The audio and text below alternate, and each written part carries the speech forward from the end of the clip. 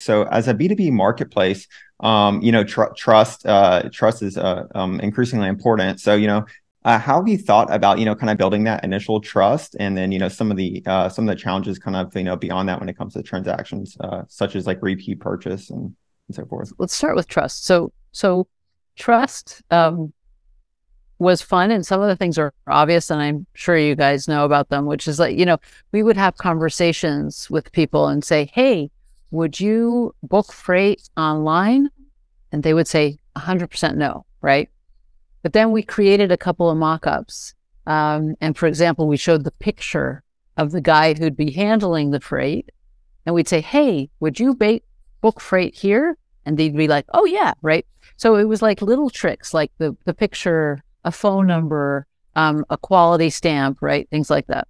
Um, so so we knew that that it was possible, right? Um, that that that even though everybody said I would never do this online, and at the time we were also looking at these babysitter sites, and we're saying like if a babysitter site can work, then a freight, you know, marketplace can work. So, um, but but then I think what was key and and really really pivotal um, was understanding what is the value uh, we're giving to each side. Like, what do they need to trust in? So, trust is a very broad kind of thing.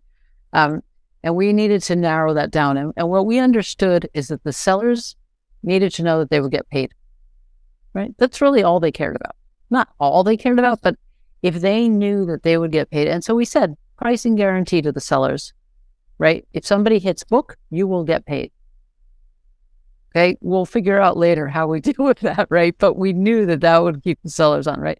And to the buyers, we said, um, price guarantee. The price isn't going to change because that's what hurt them most is that uh, they would get one price uh, for for a move, and then uh, they would add this, they would add that, they would add the other thing, and right. So so for the buyers to know that um, there was a price guarantee.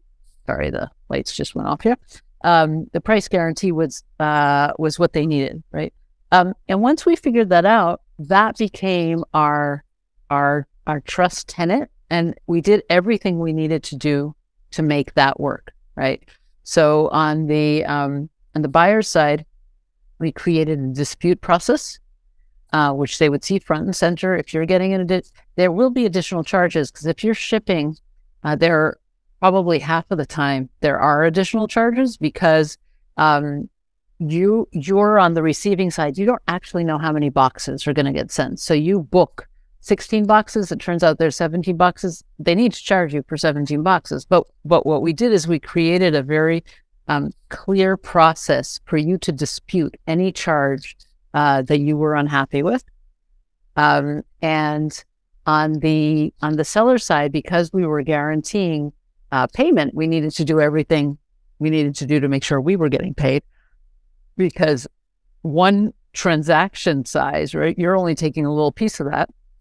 You lose one transaction, that can be all your profits for the month or, for the year, right? If you lose a full transaction. So um, that's that's kind of on the trust side.